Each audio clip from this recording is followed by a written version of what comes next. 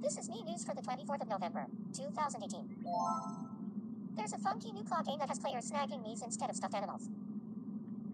According to Jessica, who works at Zodor Games Center, it may not be for everyone. Some players are weirded out by the idea of treating Miis like objects, she said. But most people change their minds after seeing how much fun it is to catch one. We asked some islanders for their thoughts on the matter.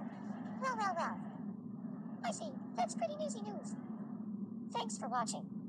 For your Mii news for November 24th, this is British Columbia, signing off.